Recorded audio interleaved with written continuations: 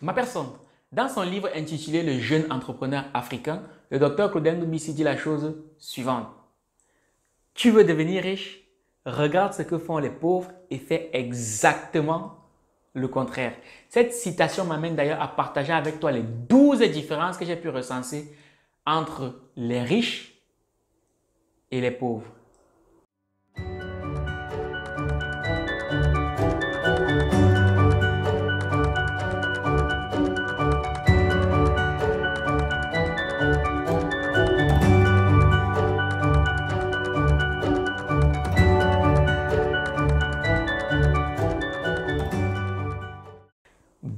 Ma personne personnelle, j'espère que tu vas bien et j'espère que comme moi tu as soif de réussite. Et bien si c'est le cas, on est ensemble. ma personne, si tu regardes cette vidéo, ça veut très certainement dire que toi et moi, nous avons quelque chose en commun. Donc ce que je t'invite à faire, c'est premièrement de t'abonner si ce n'est pas encore fait et deuxièmement, de cliquer sur la cloche de notification, ceci afin d'être informé pour toutes les prochaines vidéos que je partagerai avec toi qui vont t'enrichir encore et encore. Et troisièmement, ma personne, vous êtes de plus en plus nombreux à m'écrire sur WhatsApp pour me poser la question de savoir, Valère, j'ai lu ton livre, il est excellent. Ton livre qui s'intitule Un pied à l'école, un pied dans le business, qui est d'ailleurs disponible sur notre site internet argentlivre.com. Et honnêtement, ça fait longtemps que moi aussi j'ai envie d'écrire mon propre livre, mais je ne sais pas du tout comment m'y prendre. Donc, suite à ça, je me suis enfin résolu à partager avec toi toutes les techniques que j'ai pu mettre en place pour écrire mon livre, mais aussi et surtout pour pouvoir le vendre. Parce qu'écrire un livre, c'est bien, mais le vendre, c'est encore mieux. Et toute cette technique-là, je les partage avec toi au cours d'une masterclass inédite qui s'intitule Comment écrire et vendre un livre en 28 jours sans expérience en termes d'écriture. Et cette masterclass est d'ailleurs disponible sur notre site internet argentlivre.com. Rubrique Masterclass, elle est juste énorme. Donc désormais, tu n'as plus d'excuses pour pouvoir toi aussi écrire un livre captivant et parler à des centaines de milliers de personnes. Maintenant que toi et moi, nous avons partagé cette petite information, permets-moi de me présenter. Si tu ne me connais pas encore, je m'appelle Bélias Valère, je suis étudiant en cinquième année de médecine à la faculté d'Aix-Marseille en Provence, mais je me définis aussi et surtout comme un étudiant chercheur d'argent. Parce que ma personne, aller à l'école, c'est bien. Avoir de bonnes notes, c'est bien. Avoir un super diplôme, c'est bien. Mais la vérité, c'est qu'on ne mange pas les diplômes. Nous vivons dans un monde où les biens et services sont échangés moyennant de l'argent. Donc, tu vas avoir ici sur tous les plans de ta vie. Mais si tu es cassé sur le plan financier, ton succès ne sera que partiel. Donc, ça, comment je t'invite, ma personne, c'est d'avoir un pied à l'école, un pied dans le business. Donc, si toi et moi, nous sommes d'accord là-dessus, on peut tout de suite rentrer dans le vif du sujet.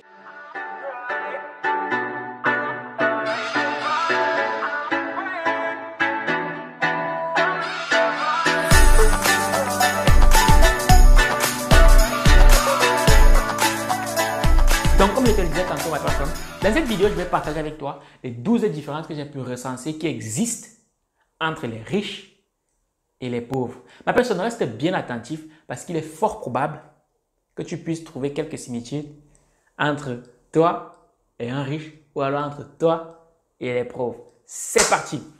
La première différence que moi j'ai pu recenser entre les riches et les pauvres, c'est que les riches se concentrent sur ce qu'ils ont.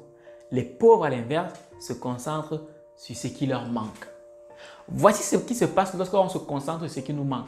Eh bien, lorsqu'on se concentre sur ce qui nous manque, on nourrit tout de suite une frustration et on se dit tout le temps qu'on n'est pas assez pour pouvoir accomplir certaines choses. On n'est pas assez intelligent pour pouvoir gagner de l'argent. On n'est pas assez confiant pour pouvoir gagner de l'argent. On n'est pas assez riche pour pouvoir faire plus d'argent. Voilà ce qui se passe on se concentre uniquement sur ce qu'on n'a pas.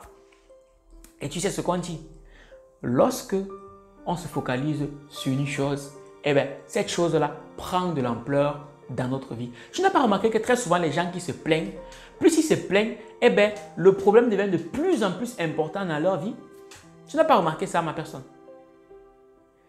Ce que moi je te conseille de faire, c'est de voir la vie comme les riches. Les riches, ils se disent, ok, j'ai déjà certaines choses, mais maintenant, comment est-ce que je fais pour capitaliser ces choses-là et les transformer en argent? Parce que la vérité, c'est que ton temps, peut être une richesse. Tes mains peuvent être une richesse. Même tes pieds peuvent être une richesse. Mais maintenant, toute la magie réside dans le comment. Comment est-ce que tu fais pour transformer ton temps, tes mains et tes jambes en richesse? Parce que rappelle-toi que une affirmation ferme l'esprit, tandis qu'une interrogation ouvre l'esprit. Donc, ma personne, ça à quoi je t'invite, c'est vraiment de regarder en toi-même ce que tu as déjà, parce que j'estime qu'on a tout ce qu'il faut nous aussi devenir. On a déjà tout ce qu'il faut. Mais maintenant, tout va dépendre de notre manière de penser, premièrement, et de notre manière d'agir. On connaît des gens, juste parce qu'ils savaient faire de la poterie, sont devenus multimillionnaires. Il y a des gens, juste parce qu'ils savaient jouer de la guitare avec leurs mains, sont devenus multimillionnaires. On connaît des gens que juste parce qu'ils savaient jouer au football, sont devenus eux aussi multimillionnaires. Donc tout ceci pour la suffisance que tu as déjà tout ce qu'il faut pour toi aussi bâtir ta richesse. Mais maintenant, il faut déjà que tu prennes conscience de cet état de choses et maintenant que tu vois comment capitaliser tes différents atouts pour les transformer en argent. La deuxième différence que moi j'ai pu recenser entre les riches et les pauvres, c'est que les riches sont engagés à devenir riches, tandis que les pauvres souhaitent juste devenir riches. Je ne sais pas si tu vois la différence entre les deux mots, l'engagement et le souhait. Celui qui souhaite devenir riche en soi c'est juste quelque chose qui sort de la bouche. Il ne le vit pas et il ne pose pas les actes qu'il faut pour devenir riche. Parce que dire qu'on veut devenir riche, c'est une chose. Mais maintenant, poser les actes qu'il faut pour le devenir, c'est autre chose. Parce que personne ne devient riche facilement. Le chemin vers la richesse, c'est un chemin qui est parsemé d'embûches. Et les personnes qui veulent devenir riches, les riches, s'engagent dans cette voie-là et deviennent riches. C'est de ça qu'il s'agit. Ça me permet d'ailleurs de partager avec toi une petite anecdote. Comme tu le sais déjà, il y a quelques années en arrière, je travaillais dans la restauration rapide. Et dans la restauration rapide, j'avais un ami qui chaque fois me disait, Valère, franchement, ça peut être sympa de devenir riche. Franchement, je souhaiterais devenir riche. Je lui dit, ah, cool. Ça tombe bien parce que moi aussi, moi, je veux devenir riche et je vais devenir riche. Donc, pendant notre échange, moi, je lui dit, bon, tu sais, il y a quelque temps, je m'intéresse beaucoup à l'intelligence financière. Et j'ai découvert un excellent livre qui pourrait déjà t'aider à bâtir ton intelligence financière, à développer ton intelligence financière. Parce que comme je l'ai toujours dit par le passé, la quantité d'argent qu'on gagne est intrinsèquement liée à notre niveau d'intelligence financière. Ça me permet justement de faire une petite parenthèse ici. Tu es africain, devenir riche est quelque chose qui t'intéresse. Dis-toi qu'il va d'abord falloir que tu développes ton intelligence financière.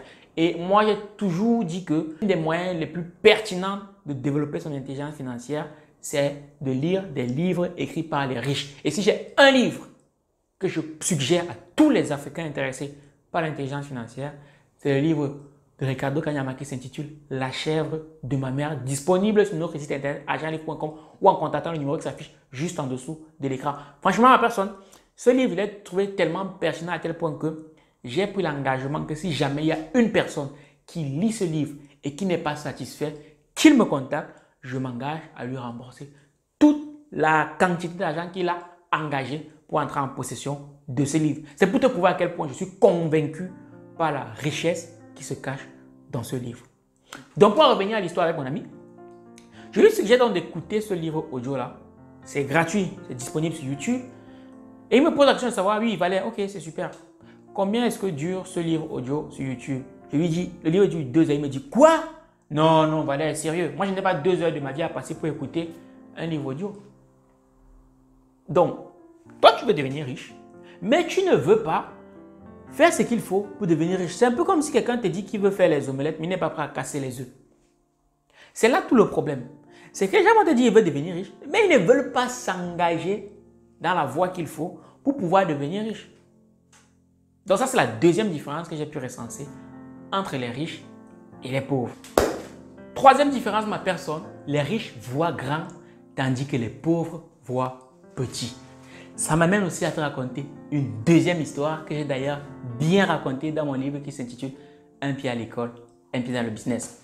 C'est l'histoire de deux amis qui vendaient des arachides. L'ami A, lui, vendait des arachides et il se disait, OK, moi je vends mes arachides et franchement, je veux mener ma petite vie, m'occuper de ma petite famille et moi ça me va. L'ami B, par lui s'est dit non. Moi, je vends les arachides, mais moi, ma vision, c'est que j'aimerais pouvoir devenir le plus grand distributeur d'arachides de mon pays. Qu'est-ce qui s'est passé? L'ami à lui, qui voulait uniquement vendre ses arachides pour subvenir à ses besoins et à ceux de sa famille, il est resté vendeur d'arachides toute sa vie. Tandis que l'ami B, qui lui avait une grande vision, derrière ces arachides-là, dix ans plus tard, il est devenu le plus grand distributeur d'arachides de tout son pays. Tout ceci prouve une seule chose, c'est que pour devenir riche, il faut avoir une grande vision. Et malheureusement, c'est au niveau de la vision que beaucoup parmi nous en Afrique, on pêche.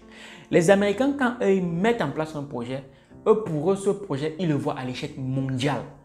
Tandis que nous, en Afrique, en général, lorsqu'on lance un business, ce qu'on se dit, c'est bon, je lance un petit business pour me débrouiller.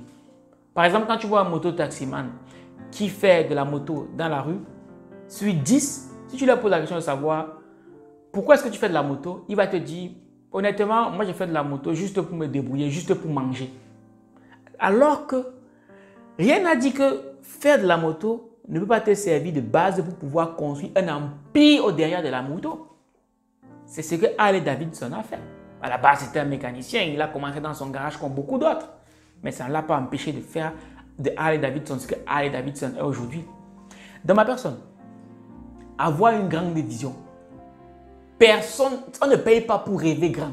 On ne paye pas. Le rêve est gratuit et ça coûte zéro franc. Donc pourquoi est-ce que certaines personnes se contentent de penser petit? Pourquoi? Dans ma personne, tu veux devenir riche. Commence dès aujourd'hui à rêver devenir riche. Pense grand, vois grand. C'est ça que font les plus grands de ce monde. Et comme l'a dit un jour la célèbre multimilliardaire Françoise Pouenet, celui qui ne rêve pas ne pourra rien accomplir de grand. La quatrième différence que j'ai pu recenser entre les riches et les pauvres, c'est que les riches n'attendent pas de tout avoir pour se lancer. Tandis que les pauvres, qu'est-ce qu'ils te disent? Ils se disent, ils se disent bon, il faut que je sache d'abord tout dans ce domaine avant de me lancer. Malheureusement, comme tu ne pourras jamais tout savoir dans un domaine, eh bien, qu'est-ce qui se passe? Les pauvres passent le temps à apprendre, à apprendre, à apprendre, sans jamais se lancer. Ils se disent tout le temps qu'ils n'ont pas suffisamment de connaissances pour se lancer et ils ne font qu'accumuler les diplômes. Ma personne, si j'ai conseil à te donner, n'attends pas d'être excellent avant de te lancer. Non, tout ce que tu as à faire, c'est de te lancer et au fur et à mesure, tu vas t'améliorer. Et sache que la perfection, c'est l'ennemi du progrès. Je répète, la perfection, c'est l'ennemi du progrès. Lance-toi, apprends ce que tu as à apprendre. S'il y a un business qui t'intéresse, lance-toi et au fur et à mesure, tu vas découvrir les compétences qui te manquent et tu vas compléter. Parce que dans le processus d'apprentissage, il y a quatre étapes. L'incompétence inconsciente l'incompétence consciente, la compétence consciente et la compétence inconsciente. Mais pour pouvoir devenir conscient de ton incompétence, il faut déjà avoir fait un certain bout de chemin. Moi, par exemple, je me suis lancé en business, ça fait un peu plus de trois ans, ça tu le sais déjà. Et il y a seulement un an que je me suis rendu compte qu'il fallait que je me forme en copywriting. Parce que rédiger une page de vente, c'est vital. Quand tu vas sur Internet, quand tu vas sur un site Internet et que tu te rends compte que tu vois un produit ou un infoproduit, tu vas d'abord faire quoi? Tu lis la description. Et selon que la description est bien faite ou mal faite, eh ben, tu seras beaucoup plus porté à acheter ce produit-là. Ça, c'est la magie du copywriting. Ça, c'est la magie de l'art de pouvoir vendre par les mots. Et toutes les entreprises au 21e siècle qui puisaient, soit en plus sur Internet, ont besoin d'avoir des bons textes de vente. Et ça, je m'en suis rendu compte parce que j'étais déjà dans le processus. Et ça, c'est une compétence que je vais développer par le passé encore. Je me suis rendu compte à un moment donné qu'il fallait que je développe mes compétences en termes de prise de parole. Qu'est-ce que j'ai fait? Je suis allé me former. C'est de ça qu'il s'agit. Mais si j'avais attendu de dire que je vais avoir toutes les compétences avant de me lancer, je n'aurais jamais eu toutes les compétences parce que je n'aurais jamais pris conscience de ce qu'il me faut pour pouvoir me lancer, pour pouvoir développer mon business. Donc, je me forme tous les jours. Ça m'amène d'ailleurs à te parler de la cinquième différence qui existe entre les riches et les pauvres, c'est que les riches se forment en continu, tandis que les pauvres, une fois qu'ils ont eu le diplôme, une fois qu'ils ont eu leur travail, ils arrêtent de se former parce qu'ils se disent, OK, ça y est, j'ai mon boulot, je n'ai plus besoin de savoir quoi que ce soit en plus, ça me suffit. Ça, c'est l'erreur à ne jamais connaître. Nous sommes dans un monde où les choses évoluent. Donc, si dans ton job, tu n'évolues pas, si ton salaire n'évolue pas, si tes revenus n'évoluent pas, tu regrettes forcément. Nous sommes dans un monde où la seule constance, c'est le progrès. Je le disais dans une autre vidéo, je vais encore le répéter ici, c'est que nous sommes dans un monde inflationniste où le coût de la vie coûte de plus en plus cher. Donc, si ton niveau de revenu reste au même niveau, eh bien, qu'est-ce qui va se passer? Au bout de 5 ans, 10 ans, 20 ans, tu vas te rendre compte qu'avec ton niveau de revenu là, si tu pouvais acheter par le passé une paire de chaussures à 10 000 ou un sac de tomates à 10 000, eh bien, dans 5 ans, tes mêmes 10 000, tu ne pourras plus acheter un sac de tomates. Donc, s'il y a 5 ans, tu étais, on va dire, tu avais un niveau de vie moyen, eh bien, 5 ans plus tard, tu vas devenir pire que moyen. Pour ne pas dire tu vas devenir pire que pauvre. Voilà. voilà pourquoi tu es obligé de te développer encore et encore. Et ça, les riches l'ont bien compris. C'est pour ça qu'ils ont une formation en continu. Parce qu'ils sont bien conscients du fait que dans leur business, s'ils ils ne veulent pas que leur business coule, eh bien, il faut qu'ils trouvent de nouvelles stratégies pour pouvoir faire perdurer leur business et l'amener à un autre niveau. C'est de ça qu'il s'agit. Et depuis que j'ai compris ça, qu'est-ce que j'ai fait? Dans mon budget mensuel, j'ai au moins 15% que j'alloue à mon développement personnel. J'investis sur moi-même parce que je, suis, je sais que je suis ma valeur la plus précieuse. C'est pour ça que j'investis continuellement sur moi-même. Il ne se passe pas un mois sans que je ne m'achète au moins deux livres. Et ce soir même, je m'acheter une nouvelle formation parce que j'avais développé une nouvelle compétence, parce que je sais que cette compétence-là va me permettre de devenir une meilleure personne. Et donc, ça va augmenter ma capacité à pouvoir attirer plus d'argent à moi-même. Parce que je veux préciser une chose, c'est que si en ce moment, tu n'arrives pas à générer plus de 1 million, c'est juste parce que tu n'es pas encore devenu le type de personne capable d'attirer un million à toi-même. Dès que tu vas devenir ce type de personne-là, tu vas voir les gens venir te contacter pour te proposer des business. Ils vont même vouloir investir un million sur toi. Je l'ai vu au quotidien. Par le passé, je ne pouvais pas proposer mon service à plus de 100 euros. Mais maintenant, aujourd'hui, quelqu'un me contacte, je lui dis carrément que mon service, c'est 400 euros, c'est 500 euros, c'est 1000 euros. Et je ne tremble pas. Parce que je sais ce que je vaux, je sais que mon niveau a augmenté et il doit continuer d'augmenter. C'est de ça qu'il s'agit. Dans ma personne, investis chaque jour en toi-même parce que tu es ta valeur la plus précieuse. Le plus bel investissement qu'un homme avec grand H puisse faire dans sa vie, c'est d'investir en lui-même. Sixième différence qui existe entre les riches et les pauvres, celle-là, tu devrais t'en douter, c'est que les riches se focalisent sur l'investissement, tandis que les pauvres se focalisent sur la dépense. Les riches savent ceci. Ils savent que la dépense doit toujours venir après l'investissement. Alors que les pauvres, dès qu'ils ont un peu d'argent, on dirait que l'argent leur boule les mains. Tout ce qu'ils veulent faire, c'est dépenser. Voici comment font les riches. Quand un riche gagne un peu d'argent, qu'est-ce qui se passe? Il l'investit dans un actif. Un actif, c'est quelque chose qui permet de faire rentrer de l'argent de ta poche. Il investit dans un actif. Et quand cet actif-là génère des bénéfices, il utilise ces bénéfices-là pour pouvoir se procurer un passif. Le pauvre, à l'inverse, qu'est-ce qu'il fait? Dès qu'il gagne un peu d'argent, il a travaillé dur pour gagner cet argent, il va s'acheter un passif. Et une fois qu'il a acheté ce passif-là, qu'est-ce qu'il fait? Il retourne travailler durement. Ça, c'est l'une des différences les plus cruciales entre les riches et les pauvres. Et en général, nos habitudes de dépenses nous viennent de notre cercle familial. Parce que l'éducation financière n'est pas faite à l'école, mais elle est faite par nos parents. Et très souvent, on voit ce que nos parents font, on voit comment ils gagnent de l'argent et comment est-ce qu'ils dépensent. Nous aussi, on se dit, OK, on va faire pareil parce que tout le monde autour de nous fait plus ou moins la même chose et on se dit que forcément, c'est la manière la plus optimale d'utiliser son argent alors qu'il n'en est rien à personne. Donc, retiens bien, ceci, c'est que la dépense doit toujours arriver après l'investissement. Septième différence qui existe entre les riches et les pauvres, c'est que les riches admirent les riches, tandis que les pauvres critiquent les riches. Ils en veulent aux riches. Ils détestent même les riches. Je vais te prendre un simple exemple. Imaginons que toi, tu as une copine, tu as une femme à la maison et tous les jours, tu lui dis qu'elle n'est pas importante. Qu'est-ce qui va se passer? Nous sommes tous d'accord sur le fait qu'au bout d'un moment, elle va s'en aller, elle va, te, elle va te fuir, elle va aller loin de toi. C'est exactement la même chose en termes d'argent. Tu ne peux pas être là chaque jour à critiquer les gens qui ont de l'argent. Tu ne peux pas être là chaque jour à dire que l'argent n'est pas important. Tu ne peux pas être là chaque jour à détester les riches et vouloir que l'argent vienne à toi. Ce n'est pas possible. C'est contradictoire. Non. Tu verras que très souvent, ce sont les pauvres qui disaient que l'argent n'est pas important. Aucun riche au monde ne peut te dire que l'argent n'est pas important. Les riches savent que l'argent, c'est l'objet qui est à la base des échanges entre les êtres humains. Les riches savent que l'argent, c'est le pouvoir. Le pouvoir apporte l'influence. L'influence apporte le contrôle. Et nous vivons dans un monde où soit tu contrôles les autres, soit c'est toi qui es contrôlé. Donc maintenant, c'est à toi de voir dans quel camp est-ce que tu veux être. Et critiquer les riches ne pourra aucunement te servir. Au contraire, ça te dessert. Si j'ai un conseil à te donner, ne critique jamais un riche. Regarde ce que font les riches et copie. C'est aussi simple que ça, ma personne.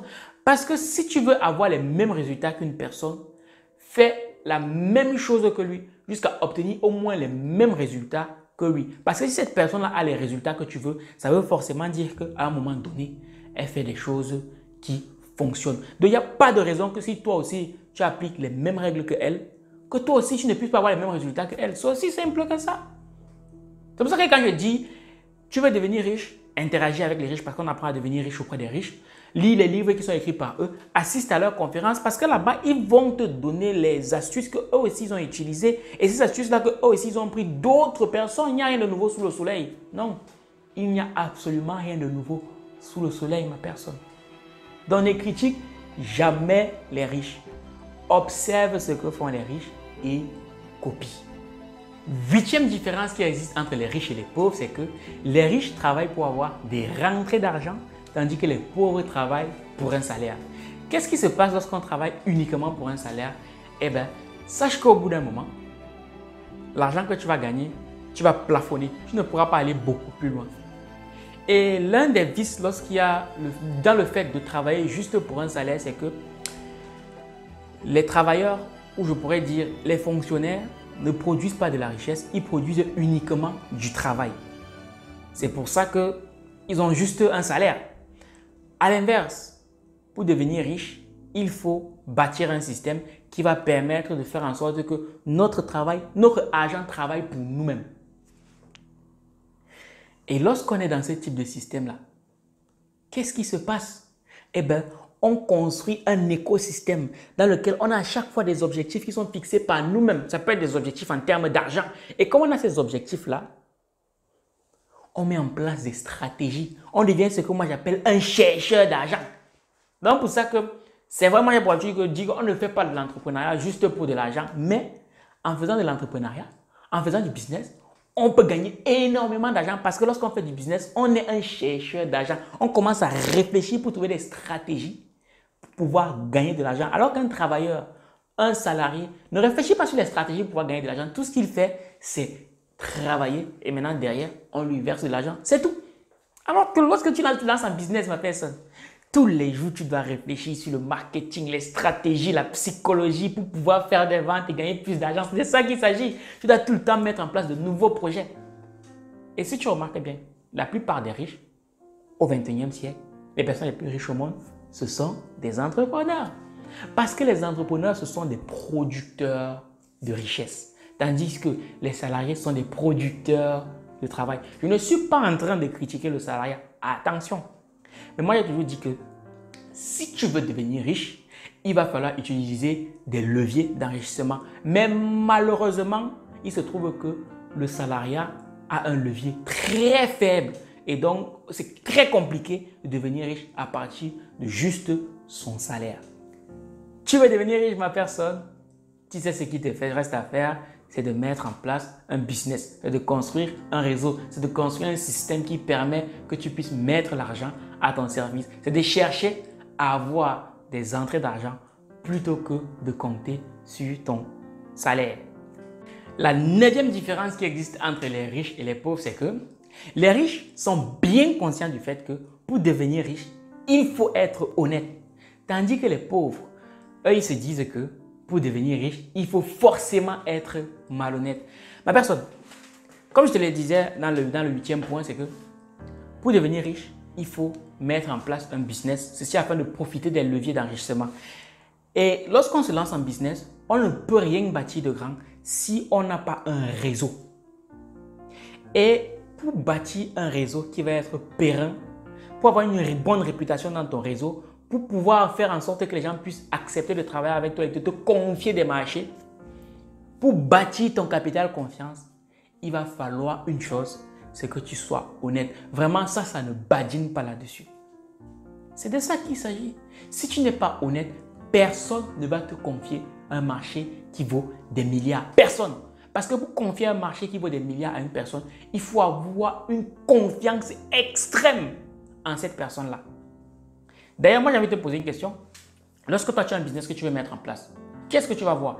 Tu vas voir en général tes amis. Pourquoi est-ce que tu vas voir tes amis? Parce que ce sont des personnes à qui tu fais confiance. Et en business, c'est exactement la même chose. Tu ne peux pas t'en sortir si tu n'es pas quelqu'un d'honnête.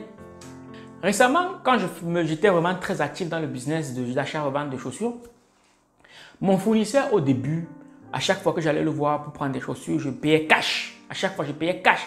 Mais au bout d'un moment, il s'est rendu compte que j'étais quelqu'un de fiable. Et plus le temps passait, plus il me donnait des chaussures même sans que je n'avance. Et il me disait, voilà les chaussures, Valère, vends. Dès que tu vends, tu viens me verser l'argent.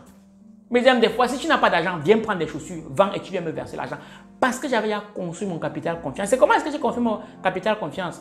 Il a fallu du temps, mais aussi j'ai posé certains actes. Parce que des fois, je, je, partais lui verser de l'argent, il ne comptait même pas. Et quand je rentrais, je me rendais compte que, mais l'argent que lui a versé, c'était incomplet, il manquait 10 euros. Et du coup, je l'appelle, je lui dis, mon gars, compte l'argent que j'ai donné. Apparemment, il manque 10 euros. Il compte et il se rend compte qu'il manque 10 euros. Et il me dit, ok, merci. Et plusieurs fois, c'est arrivé dans ma personne. Si tu veux devenir riche, sache que l'honnêteté, c'est quelque chose de capital. Les pauvres, je sais que par moment on dit qu'il y a les faits qui sont devenus riches. En général, quand tu as de l'argent de manière malhonnête, qu'est-ce que tu en fais?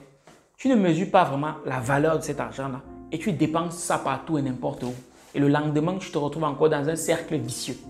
En business, voici ce qui va se passer. Tu vas peut-être faire preuve de malhonnêteté une fois. Les gens vont se dire, ok, ça peut arriver. Tu vas le faire deux fois et on ne te fera plus jamais confiance. Et quand c'est comme ça, ta réputation dans le milieu est ternie et c'est fini. Dès qu'il y aura un business important, on ne pourra plus jamais te faire confiance. C'est de ça qu'il s'agit. De ma personne.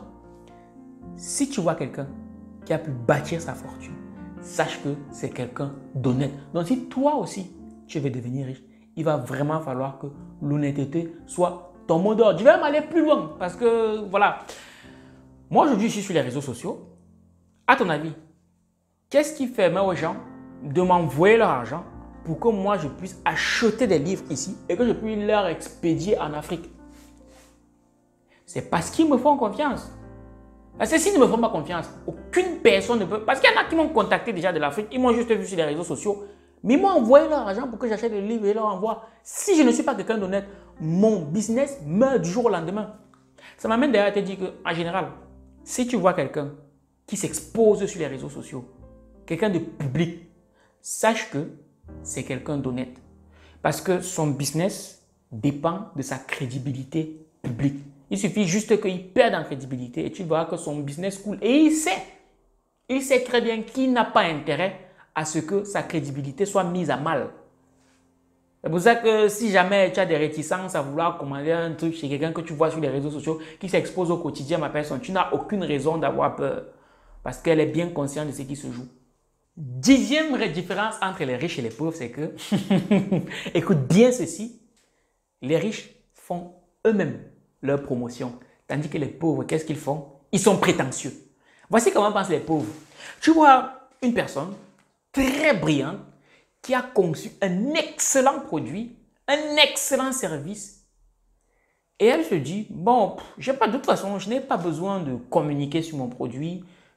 Et il suffit qu'il soit bon. Et si c'est bon, les gens vont forcément venir vers moi. Ils vont acheter mon produit. Erreur, ma personne. Les bons produits sont partout aujourd'hui au 21e siècle. En plus, avec Internet, il y a ce qu'on appelle une vulgarisation, une démocratisation de l'information. Donc, si tu crois que c'est juste avoir fait un bon produit, c'est suffisant pour que les gens accourent vers toi, tu mens.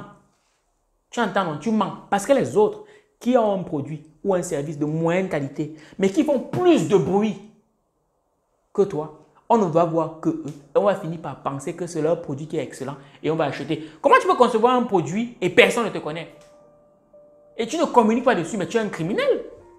Parce que imaginons que moi aujourd'hui, j'ai par exemple le médicament miracle qui va soigner le coronavirus. J'ai le médicament miracle qui va mettre un terme VIH Imaginons que j'ai ce médicament-là et je m'enferme chez moi. Je dis, bon, de toute façon, c'est un bon produit, donc euh, les gens vont venir me chercher. Non, si tu as un bon produit, mais ce que tu dois faire, c'est en parler nuit et jour parce que tu es convaincu que tu as la solution. Donc il faut que tout le monde, euh, tout le monde entier sache que tu as la solution. C'est de ça qu'il s'agit. C'est là où les Américains nous défient.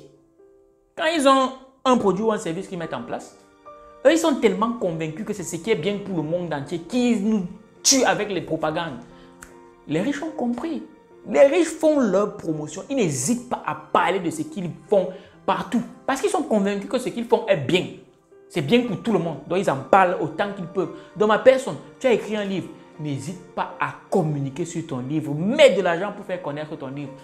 À un moment donné, ça va devenir viral et les gens vont commander à tel point que toi, tu n'auras même plus besoin d'injecter beaucoup d'argent parce que ça sera devenu rentable. C'est de ça qu'il s'agit. C'est d'ailleurs pour ça que je l'expliquais dans la masterclass. J'expliquais aux écrivains ou aux futurs écrivains que vous avez fini d'écrire un livre, c'est une bonne chose. Maintenant, pour que vous puissiez le vendre, il faut qu'il soit connu parce que en business, si tu n'es pas vu, tu ne vends pas. Donc, la première question que vous devez vous poser, c'est quel est le budget que je vais allouer pour faire connaître mon livre? Moi, je vais même souvent plus loin. Je dis que plus de 80% de ton argent, lorsque tu veux mettre en place un business, doit être investi dans la communication. J'avais commis cette erreur en 2019 quand j'avais voulu organiser un événement avec un ami. On a mis tout en place, mais au niveau de la communication, pour faire connaître l'événement, on a mis à peine 10%. Parce qu'on s'est dit que bon, de toute façon, les gens viendront tout seuls. C'est faux. Ma personne, tu as un produit ou tu as un service, tu es convaincu que ton produit est bon, investis massivement dans la com. Fais la promotion de ton service. Fais ta propre, promotion. Vends-toi. C'est de ça qu'il s'agit. Vends-toi. Dis que tu es le meilleur. Oui. Et les riches, c'est ce qu'ils font. Dans ma personne, voilà la dixième différence que j'ai vue entre les riches et les pauvres. Onzième différence qui existe entre les riches et les pauvres, c'est que les riches utilisent mieux leur argent que les pauvres. C'est aussi simple que ça. Oui, si tu es pauvre, c'est que tu as une mauvaise gestion de l'argent qui est à ta possession. Parce que le plus important en termes d'argent, ce n'est pas ce qu'on a, mais c'est ce qu'on fait avec ce qu'on a. Et d'ailleurs, Ricardo Kanyama l'explique très bien dans son livre intitulé La chèvre de ma mère que je t'invite vivement à lire. Et enfin, la douzième et dernière différence que moi j'ai pu recenser qui existe entre les riches et les pauvres, c'est que les riches jouent au jeu de l'argent pour gagner, tandis que les pauvres jouent au jeu de l'argent pour ne pas perdre. Lorsqu'un riche investit son argent, ce que lui veut, c'est gagner des millions. Tandis que lorsqu'un pauvre, lui, il investit son argent, il se dit non, il ne faut pas que je perde trop d'argent. Il ne faut même pas que je perde. Bilan des courses, eh ben, il ne devient jamais riche. Il est toujours dans la, dans la subsistance, you know. Les riches prennent de gros risques parce qu'ils savent que plus le risque est important, plus la capacité de gagner est importante. C'est pour ça qu'on dit que les riches jouent au de l'argent pour gagner, pour gagner gros. Donc il faut prendre de gros risques.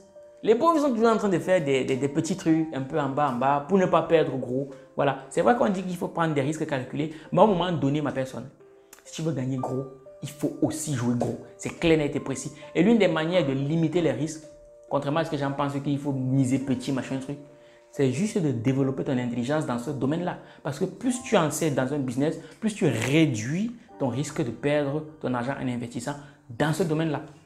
Donc voilà ma personne, les 12 différences que je voulais partager avec toi en ce qui concerne les riches et les pauvres. Dis-moi en commentaire laquelle de ces différences t'a la plus parlé. Et si jamais tu en as d'autres, n'hésite pas à partager avec nous en commentaire. Et si je me rends compte qu'il y en a beaucoup d'autres, je ferai une deuxième vidéo sur le même thème. Cela dit ma personne, si cette vidéo t'aura été utile, n'hésite pas à cliquer sur tous les boutons et je te donne rendez-vous à ma prochaine vidéo.